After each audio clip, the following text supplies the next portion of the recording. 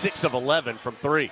RJ Davis on the drive, kicks it in the left corner to Black. He'll try and answer and does with the triple. He's really outside the paint as he kicks it out to Black. Well, they're going to leave him open for three, and he's going to knock it in from the top left. Not the contact. Coach Davis said he thought the team got a little as Black's going to fire up another three, knocks it in from the right corner.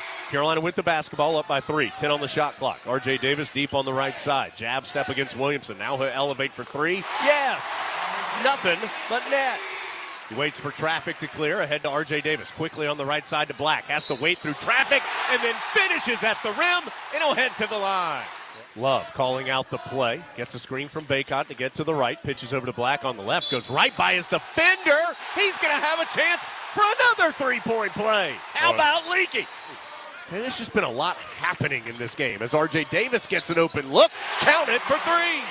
Carolina can't get a stop right now. Wake is 8 of 10 this half. They have their largest lead of six. Trimble, give and go to Bacot.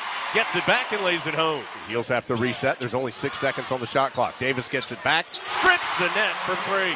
He was not in the play. He put himself in the play. Appleby tries the alley oop, broken up by Trimble. Long pitch ahead. Davis, Bacot for the hammer. Timeout, Wake Forest.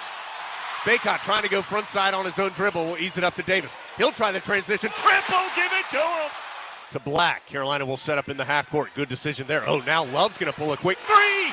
Finally, he drops one home. Out to Monsanto. He's guarded by R.J. Davis, and Davis takes it away. It'll turn into a run out layup for R.J. Davis.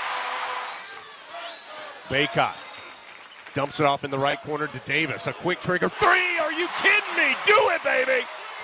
Appleby quickly the other way. His pass tipped away by Leaky Black.